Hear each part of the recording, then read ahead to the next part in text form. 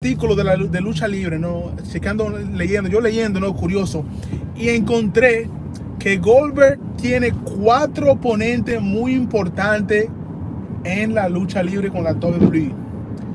Número 4, Goldberg versus Keith Lee. Créame, se tiene que dar. Son dos monstruos, son dos hombres potentes, son dos bestias que tienen muy, son muy buenos luchadores. Yo sé que Goldberg a veces, yo sé que Goldberg va a hacer un squash con Keith Lee, lo va, a abaratar en 30 segundos, pero son combates que le hace falta a Goldberg tener en la WWE.